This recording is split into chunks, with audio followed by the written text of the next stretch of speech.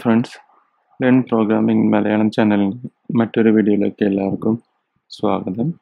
നമ്മൾ ഇന്നിവിടെ പഠിക്കാൻ പോകുന്നത് പോളിമോർഫിസം എന്ന് പറയുന്ന കൺസെപ്റ്റാണ് അപ്പോൾ ആദ്യം അതിന്റെ വേർഡ് മീനിങ് എന്താണെന്ന് നമുക്ക് നോക്കാം. ഹാവിങ് മൾട്ടിപ്പിൾ ഫോംസ് അതായത് ഒരു കാര്യത്തിന് തന്നെ പല മീനിങ് അല്ലെങ്കിൽ മൾട്ടിപ്പിൾ ഫോം ഉണ്ടായിരിക്കുന്നതാണ്. അങ്ങനെ പറയുന്ന കൺസെപ്റ്റ് ആ ഒരു കൺസെപ്റ്റിനെയാണ് നമ്മൾ ബേസിക്കലി പോളിമോർഫിസം എന്ന് പറയുന്നത്. പോളി എന്ന് പറയുന്ന വാക്കിന്റെ മീനിങ് എന്ന് പറഞ്ഞാൽ മെനി എന്നാണ്. അപ്പോൾ അതിന്റെ സിറ്റുവേഷൻ മാറുന്നതനുസരിച്ചിട്ട് സെയിം കാര്യത്തിന് തന്നെ മൾട്ടിപ്പിൾ മീനിങ് ഉണ്ടാവുക എന്നുള്ളതാണ് പോളിമോർഫിസം പോളിമോർഫിസം പല ടൈപ്പ് ഉണ്ട്. അതായത് പല തരത്തിലും പൈത്തണിൽ പോളിമോർഫിസം ഉണ്ട്. നമുക്ക് ആദ്യത്തെ നോക്കാം. അതായത് ഓപ്പറേറ്റർ അതായത് ഓപ്പറേറ്റർ ഓപ്പറേറ്ററിൽ എങ്ങനെയാണ് പോളിമോർഫിസം അപ്ലൈ ആവുന്നത് നോക്കാം.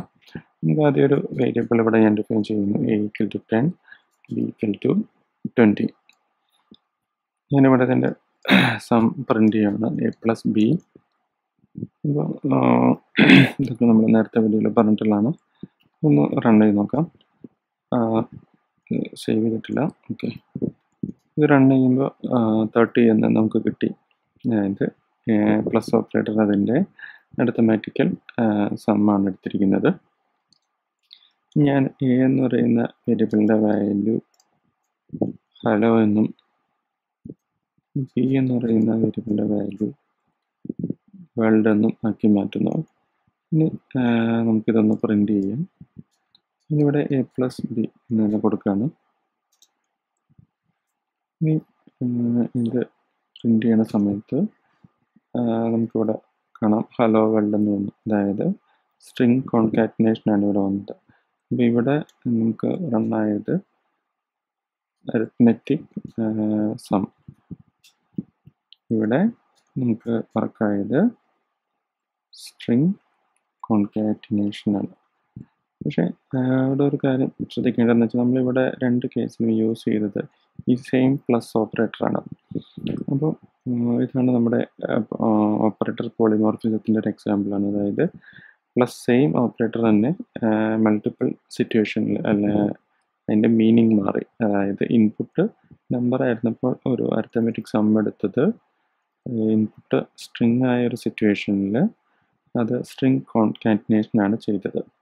അപ്പോൾ ഇത് നമ്മുടെ ഓപ്പറേറ്റർ വെച്ചിട്ടുള്ള ഒരു പോളിമോർഫിസത്തിന്റെ എക്സാമ്പിളാണ് അതായത് അതിന്റെ കോണ്ടെക്സ്റ്റ് മാറുന്നതിനനുസരിച്ച് ആ ഓപ്പറേറ്ററിന്റെ മീനിങ് അല്ലെങ്കിൽ അതിന്റെ എന്താണ് ആക്ച്വലി കാൽക്കുലേഷൻ എന്നുള്ളത് മാറുന്നു. അപ്പോൾ അതാണ് ഓപ്പറേറ്റർ പോളിമോർഫിസം ഇനി നമുക്ക് രണ്ടാമത്തെ പോളിമോർഫിസം ഉള്ളതെന്ന് പറയുന്നത് നമ്മുടെ ഫങ്ഷൻസിലാണ് അപ്പോൾ അതിനൊരു എക്സാമ്പിൾ എന്ന് പറഞ്ഞാൽ നിങ്ങൾ ഇതിനു മുമ്പ് യൂസ് ചെയ്തിട്ടുള്ള തന്നെയാണ്. നമ്മൾ എൽ ഇൻ ഫംഗ്ഷൻ ലെങ്ത് കണ്ടുപിടിക്കാനുള്ള ഫംഗ്ഷൻ യൂസ് ചെയ്തു. അപ്പോൾ നമുക്കിവിടെ മൂന്ന് വേരിയബിൾ ഡിഫൈൻ ചെയ്യാം. അത് വെച്ചിട്ട് ഞാനിത് പറയുന്നതായിരിക്കും. ഇവിടെ ഹലോ എന്ന് പറയുന്ന ഒരു വേരിയബിൾ എക്സും ഐയിൽ നമ്മൾ ഒരു ലിസ്റ്റ് കൊടുക്കുന്നു. വൺ ടു ത്രീ ഒരു ലിസ്റ്റ് കൊടുക്കുന്നു സെഡ് എന്ന് പറയുന്ന വേരിയബിളിൽ ഞാനൊരു ഡിക്ഷണറിയാണ് കൊടുക്കുന്നത്. ഇത് എന്തെങ്കിലും ഒരു ഡമ്മി വാല്യൂ കൊടുത്താൽ മതി. പക്ഷെ നമ്മളിവിടെ ഒരു ഡിക്ഷണറി കൊടുക്കുന്നു. അപ്പോൾ ഇത് നമ്മൾ ഈ ഡിഫൈൻ ചെയ്ത മൂന്ന് വേരിയബിളും മൂന്ന് ടൈപ്പ് ഓഫ് ഡാറ്റയാണ്. ഒന്നിൽ സ്ട്രിങ് ആണ് ഒന്നിൽ ലിസ്റ്റാണ് ഒന്ന് ഡിക്ഷണറി ആണ് നമുക്കിനി ഇത് മൂന്നിന്റെയും ലെങ്ത്ത് ഒന്ന് പ്രിന്റ് ചെയ്ത് നോക്കാം. ലെങ്ത് ഫംഗ്ഷൻ വെച്ചിട്ട് നമുക്കിവിടെ എക്സ് കൊടുത്തിട്ടുണ്ട്. കോമ നമുക്ക് ബാക്കിയുള്ളതിന്റെ കൂടെ ലെങ്ത്ത് പ്രിന്റ് ചെയ്ത് നോക്കാം. ഞാനിന്ന് റൺ ചെയ്യാണ്. ഇപ്പോൾ ആ നമുക്കിവിടെ ഒരു രണ്ട് കോമ എന്നുള്ളതാണ് അടിച്ച് നമ്മൾ ശ്രദ്ധിക്കണം. ഇത് റീറൺ ചെയ്യാം. ഇപ്പോൾ നമുക്കിവിടെ മൂന്ന് വാല്യൂസ് കിട്ടി. അതായത് ഫൈവ് എന്നും സെവൻ എന്നും ത്രീ എന്നും.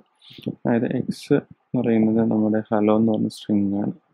വൈ എന്ന് പറയുന്നത് ലിസ്റ്റും ഒന്നാമത്തത് ഡിക്ഷണറി ആകുന്നു. അപ്പോൾ ഈ മൂന്നിലും നമ്മൾ അപ്ലൈ ചെയ്ത ഫങ്ഷൻ സെയിം ആണ്. അപ്പോൾ എലിയൻ എന്ന് പറയുന്ന ഫങ്ഷൻ സ്ട്രിങ്ങിൽ എങ്ങനെയാണ് വർക്ക് ചെയ്തത്? എലിയൻ വർക്ക് ചെയ്തത് എന്ന് പറയുന്നത്. Number of characters in string അതാണ് സ്ട്രിങ്ങിന്റെ കോണ്ടെക്സ്റ്റിൽ എലിയൻ എന്ന് പറയുന്ന ഫങ്ഷന്റെ മീനിങ് ഇനി നമ്മൾ ലിസ്റ്റിന്റെ കേസ് എടുക്കുകയാണെങ്കിൽ അവിടെ എലിയൻ എങ്ങനെയാണ് വർക്ക് ചെയ്തത്? Number of items in the list അതാണ് ഈ ലിസ്റ്റിന്റെ കോണ്ടക്സ്റ്റിൽ എലിയൻ എന്ന് പറയുന്ന ഫങ്ഷന്റെ മീനിങ് ഇനി നമ്മുടെ തേർഡ് ഐറ്റം എന്ന് പറഞ്ഞത് ഡിക്ഷണറിയാണ് അപ്പോൾ അവിടെ എലിയന്റെ മീനിങ് എന്താണെന്ന് നമുക്ക് നോക്കാം. ഇതിന്റെ മീനിങ് എന്ന് പറയുന്നത് number of keys in the dictionary ഡിക്ഷണറിയെ നമ്മൾ ഷോർട്ടാക്കി ഡിക് എന്ന് പറയുന്നതാണ്. അപ്പോൾ നമ്മളിവിടെ മൂന്നും അപ്ലൈ ചെയ്ത ഫങ്ഷൻ സെയിമാണ് ബട്ട് അതിന്റെ കാൽക്കുലേഷൻ നടന്നത് വേറെ രീതിയിലാണ്. ഇവിടെ ഹലോ എന്ന് പറഞ്ഞതിന്റെ ലെങ്ത് എടുത്തപ്പോൾ ഫൈവ് കിട്ടി. ഇവിടെ നിങ്ങൾക്ക് സെവൻ കിട്ടി. ഇവിടെ നിങ്ങൾക്ക് ത്രീയും കിട്ടി. അപ്പോൾ ഇത് ആണ് ഫങ്ഷണൽ പോളിമോർഫിസം നമുക്ക് വേണമെങ്കിൽ പറയാം. അതായത് ഫങ്ഷൻസിൽ ഫങ്ഷന്റെ മീനിങ് ഒരു ഫങ്ഷന്റെ മീനിങ് അത് വർക്ക് ചെയ്യുന്ന അതിന്റെ ഇൻപുട്ട് അനുസരിച്ച് അതിന്റെ മീനിങ് മാറുകയാണ് സ്ട്രിങ്ങിൽ വർക്ക് ചെയ്യുന്ന പോലെയല്ല ഇത് ലിസ്റ്റിൽ വർക്ക് ചെയ്യുന്ന ലിസ്റ്റിൽ വർക്കാവുന്ന പോലെയല്ല. അത് ഒരു ഡിക്ഷണറിയിൽ വർക്കാവുന്നത് അപ്പോൾ ഇത് ഒരു ഫങ്ഷനിലെ ഒരു പോളിമോർഫിസത്തിന്റെ ഒരു വളരെ നല്ല എക്സാമ്പിളാണ് ഈ കൺസെപ്റ്റ് അറിഞ്ഞിരിക്കുക. നമ്മളിതുവരെ പഠിച്ച കാര്യം തന്നെയാണ് ഇത്. പക്ഷേ ഈ പോളിമോർഫിസം എന്നൊക്കെ പറയുന്ന കൺസെപ്റ്റ് വളരെ ഇമ്പോർട്ടന്റ് ആണ്. കാരണം ഇന്റർവ്യൂവിലൊക്കെ നല്ല ഇന്റർവ്യൂസിലൊക്കെ ഉറപ്പായിട്ടും ഫ്രഷേഴ്സിനോട് എസ്പെഷ്യലി ചോദിക്കാൻ ഏറ്റവും കൂടുതൽ ചാൻസ് ഉള്ള ഒരു ക്വസ്റ്റ്യനാണ് ഇതൊക്കെ. ഇനി നമ്മൾ ഇപ്പോൾ ഇതുവരെ പഠിച്ചുകൊണ്ടിരുന്നത് ഒബ്ജക്റ്റ് ഓറിയന്റഡ് പ്രോഗ്രാമിംഗ് അല്ലെങ്കിൽ ക്ലാസ് ആണ്. അപ്പോൾ ആ ക്ലാസ്സിൽ എങ്ങനെ പോളിമോർഫിസം വരാമെന്നുള്ള നമുക്ക് നോക്കാം. അപ്പോൾ നമുക്ക് ക്ലാസ്സിന്റെ ഒരു എക്സാമ്പിൾ വെച്ചിട്ട് പറയാം. നമ്മളിവിടെ ഒരു ക്ലാസ് ക്രിയേറ്റ് ചെയ്യുന്നു. ഫസ്റ്റ് ക്ലാസ് കേരള എന്ന് പറഞ്ഞാണ് കൊടുക്കുന്നത്. ഇവിടെ ഒരു ഫങ്ഷൻ സ്പീക്ക് എന്ന് പറയുന്ന ഒരു ഫങ്ഷൻ കൊടുക്കുന്നു നമ്മളതിന് കൺസ്ട്രക്ടർ ഒന്നും കൊടുക്കുന്നില്ല. ഇനി സ്പീക്കിൽ നമ്മൾ കൊടുക്കാൻ പോകുന്നത് സ്പീക്ക് മലയാളം. ഇതാണ് സ്പീക്ക് എന്ന് പറഞ്ഞ ഫങ്ഷൻ ഇനി നമ്മളിവിടെ പറയുന്നത് തമിഴ്നാട് എന്ന് പറയുന്ന ഒരു ക്ലാസ് ക്രിയേറ്റ് ചെയ്യുന്നു. അതിലും നമ്മൾ ഈ സ്പീക്ക് എന്ന് പറയുന്ന ഫങ്ഷൻ ഡിഫൈൻ ചെയ്യണം. അതിലും നമ്മൾ പ്രിന്റ് കൊടുക്കുന്നു. ഇവിടെ തമിഴ് ഇനി നമുക്കിത് രണ്ടും ഒന്ന് എക്സിക്യൂട്ട് ചെയ്ത് നോക്കാം. അത് ഞാൻ കേരള എന്ന് പറയുന്ന ഒബ്ജക്റ്റ് ഉണ്ടാക്കുന്നു. കേരള എന്ന് പറയുന്ന ക്ലാസ്സിൽ കൺസ്ട്രക്ടർ ആർഗ്യുമെന്റ്സ് എം ടി ആണ്. ഇനി നമുക്ക് നമ്മുടെ ഫങ്ഷൻ സ്പീക്ക് എന്ന് പറയുന്ന ഫങ്ഷൻ വിളിച്ചു നോക്കാം. അതുപോലെ തന്നെ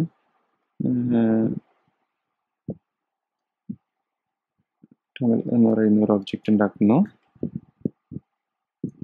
നടു എന്ന് പറയുന്ന ക്ലാസ്സിലാണ് ഇനി ആ ടമൽ ഒബ്ജക്റ്റ് വെച്ചിട്ട് നമുക്ക് അതിൽ സ്പീക്ക് എന്ന് പറയുന്ന ഫങ്ഷൻ വിളിച്ചു നോക്കാം.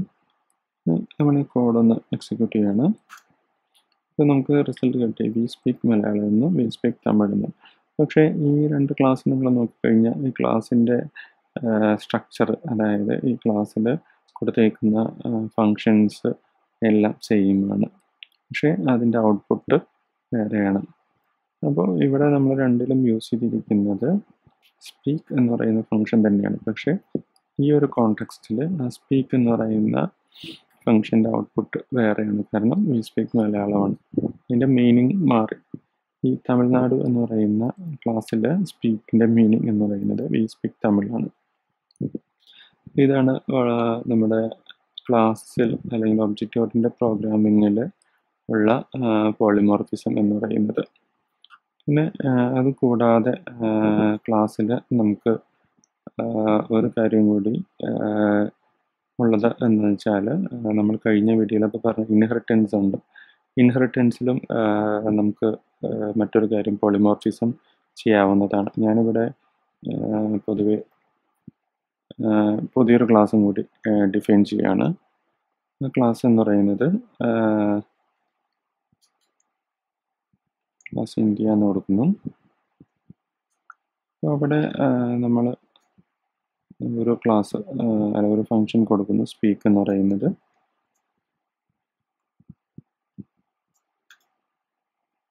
ആ സ്പീക്ക് ഫങ്ഷനിൽ നമ്മൾ കൊടുക്കുന്ന സ്റ്റേറ്റ്മെന്റ് എന്ന് പറയുന്നത്.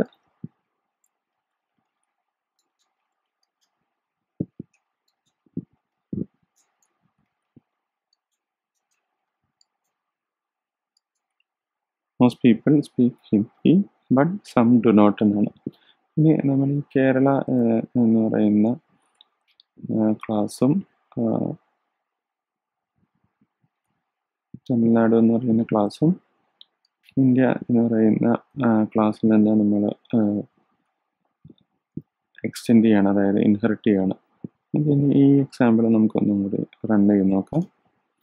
നമുക്കിപ്പോഴും സ്റ്റിൽ കിട്ടിയിരിക്കുന്ന ഔട്ട്പുട്ട് എന്ന് പറയുന്നത് വി സ്പീക്ക് മലയാളവും വി സ്പീക്ക് തമിഴുമാണ്. പക്ഷേ ഈ ഒരു മെത്തേഡ് ഇവിടെ ഉണ്ട്. ഞാൻ ഇനി ഈ ഒരു മെത്തേഡ് കമന്റ് ചെയ്ത് നോക്കുവാണ് ഇവിടെ. ഇപ്പോൾ നമുക്ക് ഇവിടെ എലമെന്റ് ഒന്നും ഇല്ലാത്തതുകൊണ്ടാണ് പാസ് സ്റ്റേറ്റ്മെന്റ് കൊടുക്കണം. നിങ്ങൾ ശ്രദ്ധിക്കേണ്ട കാര്യമാണ്. ഒന്നും കൂടി നമുക്കൊന്ന് റൺ ചെയ്ത് നോക്കാം.